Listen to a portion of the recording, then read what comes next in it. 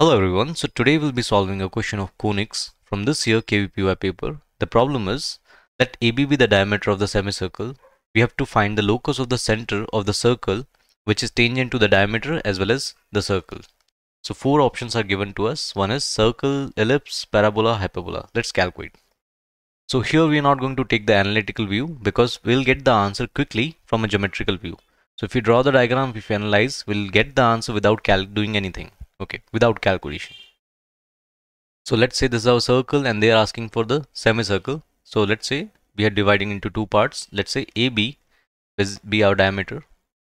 Now we have to take one more circle which is tangent to the diameter as well as the circle semicircle. So let's say this is our circle and let's say the center of this bigger circle is O and center of this small circle is let's say it is capital C and if you join this with the center until circumference it will be equal to radius. Let's say the radius is capital R. Here.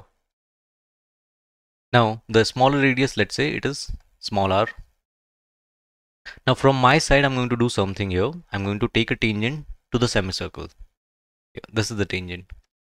From point of tangency if you join till center this is also again capital R and I want you to join the small center C from the tangent. So this will be, this will be, the distance will be, let's calculate here. So if you draw, if you draw up a parallel line here till the center and if you draw one more line here, this is small r as you can see. Now again if you extend till here, if you want to calculate this much distance, this is important. So this much distance is equal to this much distance. These two distances are equal. So this will be equal to capital R minus small r as you can see here. The distance of the small the center C from the tangent to the bigger circle. Now this is small r capital R minus r and if you see this distance this distance is capital R minus r.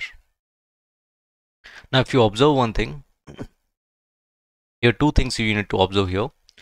This point O is a fixed point because it's not moving. The only moving thing here is the C point, which is the center of the small circle. Now our objective is to find the locus of C point, how it is moving, which trajectory it's going to take. So if you observe this O is a fixed point and one more thing if you observe here this line is a fixed line here. And fixed line we call this as directrix.